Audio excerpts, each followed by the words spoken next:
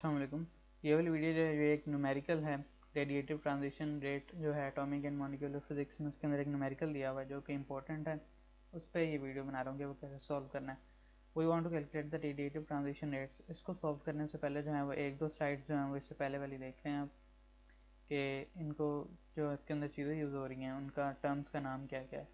सबसे पहले जो है, वो देख लेते हैं कि इक्वेशंस जो हमने फाइंड करनी है रेडिएटिव रेट्स की। जो बी है, सिर्फ़ बी वो है rate of stimulated emission B और बी नॉट जो है, वो है एब्जॉर्प्शन कोफिशिएंट बी नॉट जो बी की इक्वेशन के अंदर आता है। तो हमें बी की इक्वेशन जो है स्टिमुलेटेड एमिशन निकालने के लिए पहले जो है स्पॉन्टे ये कोफिशिएंट एब्जॉर्प्शन कोफिशिएंट फाइंड करना पड़ेगा। और ए जो है, वो एमिशन कोफिशिएंट है स्पॉन्टेनियस एमिशन कोफिशिएंट वो आगे चल के पता चलेगा ए की वैल्यू जो है, वो वन ओवर टाउ होती है। और दूसरा जो है टाउ टाउ जो है, वो लाइफ टाइम होती है एक लेवल में किसी भी इलेक्ट्रॉन की। फॉर एग्ज़ाम्पल हम यहाँ से देखते हैं we want to calculate the radiative transition at for hydrogen atom transiting from the 2p to the one S energy level जो एक इलेक्ट्रॉन है, वो गया हुआ है टू पी लेवल पे है, फ़िलहाल जो है। सब लेवल पे शेल के जो सब शेल होते हैं, उनके अंदर 1s 1 2p इस तरह। वो टू पी पे है अब जो है उसने वापस आना है वन एस में। तो कितना टाइम जो है वो टू पी पे गुजार सकता है वो? उसे जो है, कहते हैं उसकी लाइफ जो है two P to the energy level where the life time of two P state जो है। Life time of two P state का मतलब है कि जब तक इलेक्ट्रॉन टू पी स्टेट में रहेगा उस टाइम को तो वो रहेगा 1.6 नैनो सेकेंड जो है, वो सिर्फ़ टू पी स्टेट में रहेगा और फिर वापस वन एस में आ जाएगा। And the energy difference of these two states is इनका एनर्जी डिफरेंस दिया हुआ है दोनों टू पी और वन एस का ten point two electron volt है। और we want to calculate the radiative transition rates के एक सेकेंड में जो है टू पी से कितनी जो है वो नीचे आ सकती हैं इलेक्ट्रॉन जो हैं वो वन एस में आ सकते हैं। तो वो कैसे सॉल्व करना है? आसान सा तरीका। बी जो है वो हमने एक्चुअली फाइंड करना है और बी नॉट जो है वो बी के अंदर ही आता है। सबसे पहले जो है, आपने जो है टू पी और जो है वो टू एस से जा रहा है और एमिटिंग हो रही है रेडिएशन की, क्योंकि टू पी से लोअर लेवल पे आ रहा है तो एमिशन ही होगी एनर्जी की। टाओ जो है, उसकी वैल्यू दी हुई है। टाओ जो है, वो यहाँ पे 1.6 नैनोमीटर है, जो टू पी का लाइफ टाइम है। टू पी में जो है electron one point six nano second जो है, वो रुकेगा वहाँ पे। और डेल्टा ई e जो है एनर्जी दी हुई है ten point two electron volt उन दोनों टू पी और वन एस का डिफरेंस जो है इसी तरह जो है ए फाइंड करना है हमने पहले।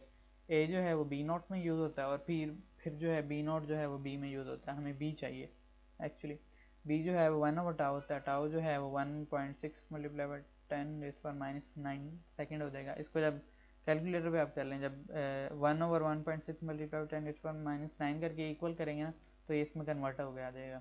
ऊपर चला जाएगा। और ये जो है इसका यूनिट जो है फिर पर सेकेंड हो जाएगा, जब सेकेंड ऊपर जाएगा।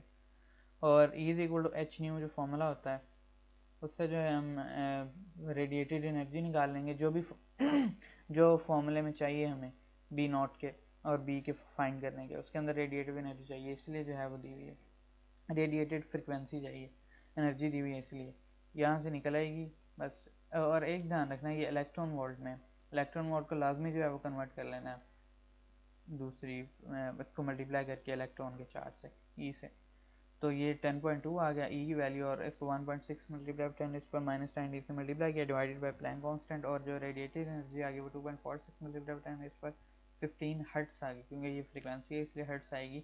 ऑलमोस्ट इसी के इक्वल आएगी, कम ज़्यादा इससे थोड़ी बहुत हो सकती है। और अब बी नोट का फॉर्मूला जो है, वो इसमें दिया हुआ है। बी नॉट जो है, वो हमने पहले फाइंड करना है। Two pi V Q V नहीं है, ये जो है, ये रेडिएटेड फ्रिक्वेंसी है। वो ओवर रेस पर three over C square A V velocity होती है। वी भी इसको लिख सकते हैं, लेकिन ये रेडिएटेड फ्रिक्वेंसी होती है। Nu is equal to H nu तो है, यहाँ पे बस हमने वैल्यूज़ पुट करनी है। टू एच और nu cube over C square A ये सारी वैल्यूज़ हमारे पास हैं। ये बस वैल्यूज़ पुट करेंगे और बी प्राइम जो है, उसकी वैल्यू आ जाएगी पर सेकेंड ट्रांजिशन रेट जो है, यहाँ पे उन्होंने एग्जांपल सॉल्व करके लिखा हुआ this tells us that the hydrogen atom will absorb a photon and transition from the 1s to 2p state of the rate of 2.34 multiply by 10 पर 8 टाइम्स पर सेकंड बी नॉट जो है वो absorption का जो था वो उसको डिफाइन कर रहा था, पीछे जो हमने पढ़ा था। बी नॉट जो है एब्जॉर्बशन कोफिशेंट है।